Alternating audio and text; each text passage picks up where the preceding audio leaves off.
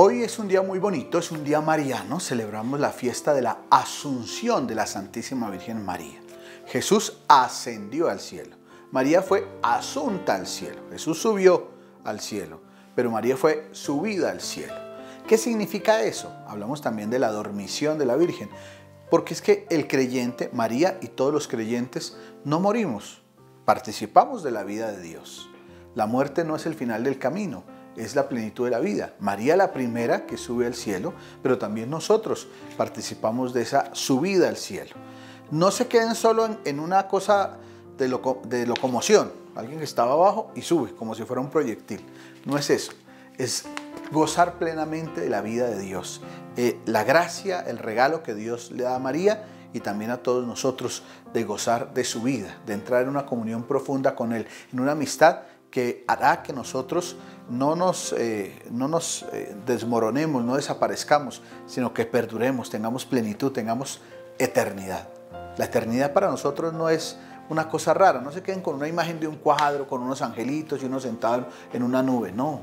La plenitud es mucho más y la plenitud tiene que ver con esa realidad de profunda felicidad, de saciarnos con el gozo de Dios, va más allá de lo que nosotros podemos vivir y experimentar. Entonces le pedimos a María, la primera asunta del cielo, que ella también nos, eh, nos ayude en ese caminar hacia Jesús.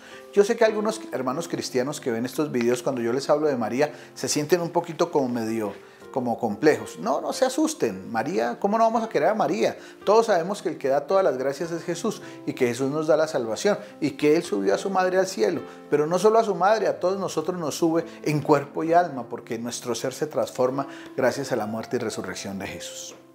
María Santísima, te damos gracias por enseñarnos cuál es el camino para llegar a tu Hijo amado. Que también nosotros anhelemos y gocemos del cielo. Dios te salve María, llena eres de gracia, el Señor es contigo, bendita eres entre todas las mujeres y bendito es el fruto de tu vientre Jesús. Santa María, Madre de Dios, ruega por nosotros pecadores, ahora y en la hora de nuestra muerte. Amén. Recuerda, soy el Padre Ramón Zambrano. Te invito a que me sigas en mis videos, en estas redes que empleamos y que de verdad pueden servir mucho para que alguien abra su corazón a Dios. Sígueme en Facebook, en Instagram, canal de YouTube me encuentras fácil por Padre Ramón Zambrano.